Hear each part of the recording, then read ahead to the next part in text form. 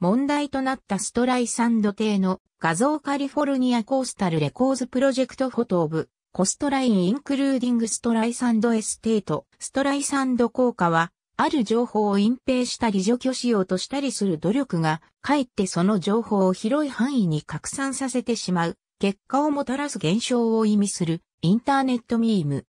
それまで、誰にも気づかれていなかったが、その事実を知る、利害関係者などが、隠蔽や除去を試みた結果、ここに知られたくない秘密がありますよと逆に広く宣伝してしまうことになる。このような試みにより、元情報を一つ削除できたとしても、インターネット上の検索サイトのキャッシュなどに至るまで、多くの痕跡を完全に削除することは困難で、あるから、面白半分の人間や興味を持った人間、利害関係者などがそれを探し当てて、そのコピーが再び拡散することにつながるため、消すと増えるとも言われる。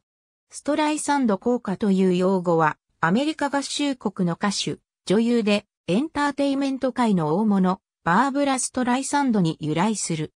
2003年、バーブラは自分の邸宅が映っていたネット上の画像の公開を差し止めようとして裁判を起こしたが、かえって世間の関心を集める結果になってしまった。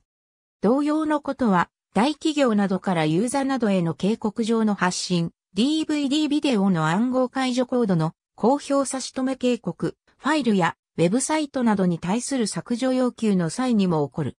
これらの情報が隠蔽されたり、公開差し止めとなったりする代わりに、かえってその情報に対するネット上やメディアの関心が高まり、ミラーサイトやファイル共有ソフトなどで情報が際限なく拡散することになる。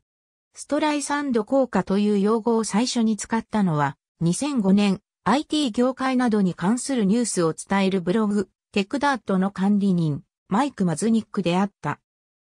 2003年、ストライサンドはシリコンバレーの実業家で環境保護運動家のケネス・エーデルマンと PICTOPIA.com に対してカリフォルニア州の反パパラッチ法に違反して許可なく家屋を撮影しプライバシーの侵害を行ったとして彼らが取って公開しているカリフォルニア州の1万2000枚に上る海岸線の航空写真データベースの中からマリブの断崖上にあるストライサンドの邸宅の写真を削除して5000万ドルを支払うよう訴えた。エーデルマンは自分は政府の公認によるカリフォルニア海岸記録計画の一環として海岸線の写真を撮ったに過ぎないと述べた。